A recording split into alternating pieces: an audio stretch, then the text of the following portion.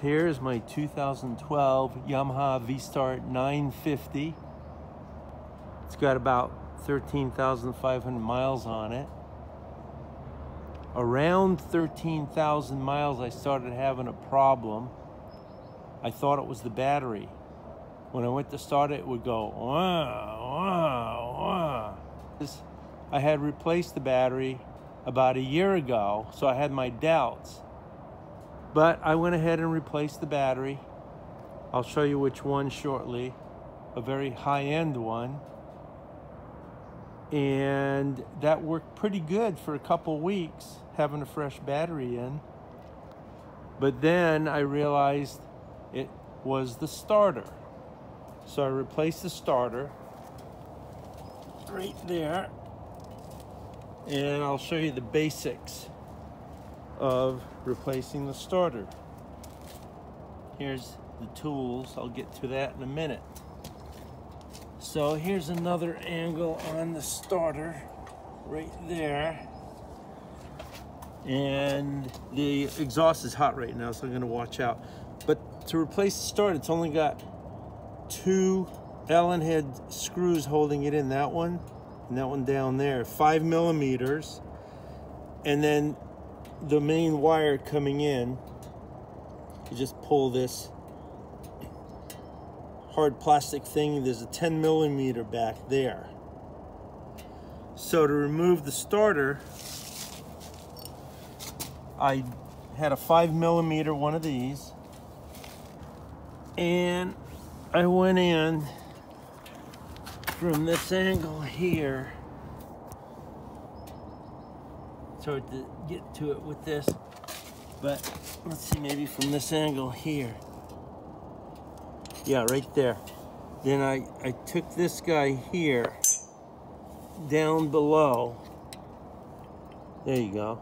I broke that one loose and then I actually couldn't get this tool in here very good to turn it which I didn't have to because although I did not have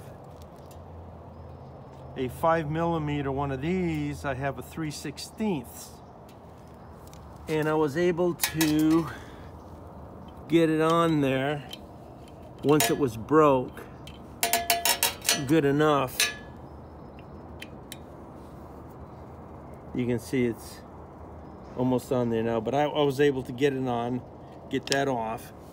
And then I got it in there.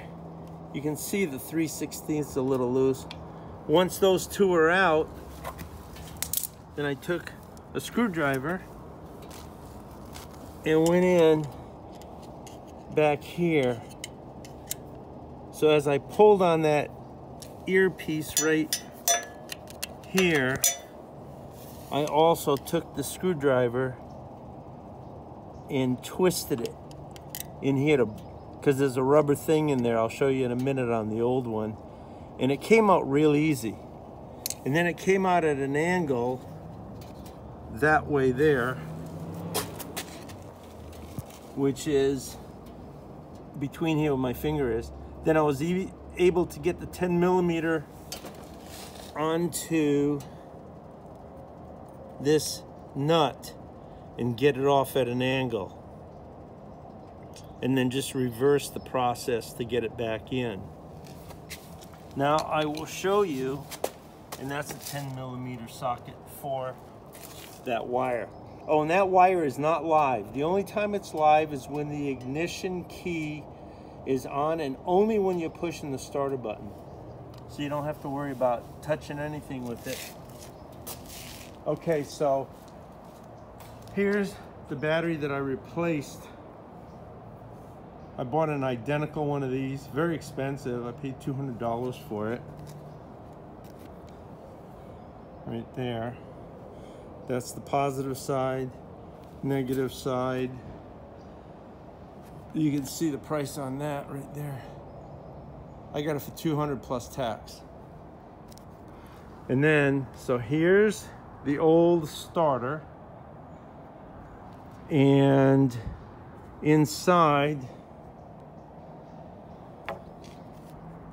right there is a magnet.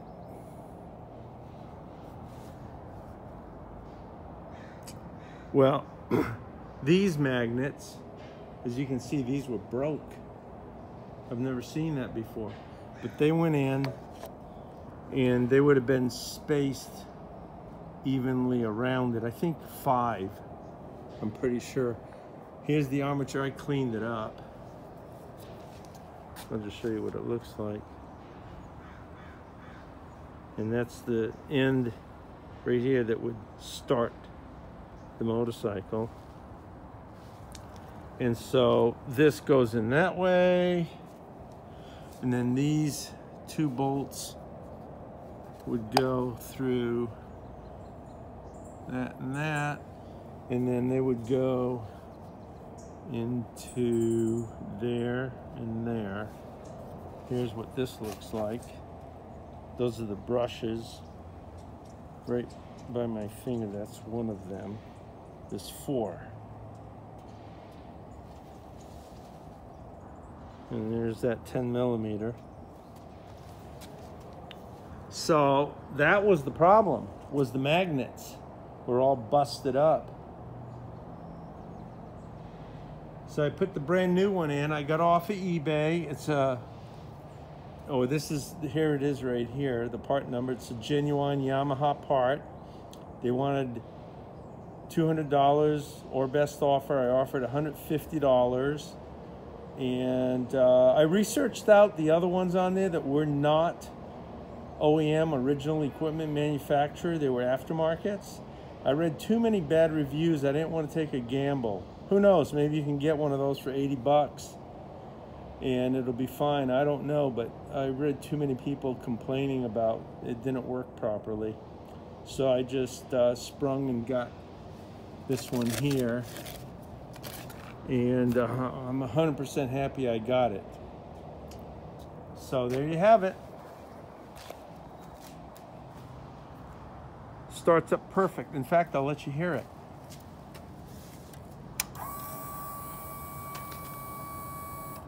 Here goes.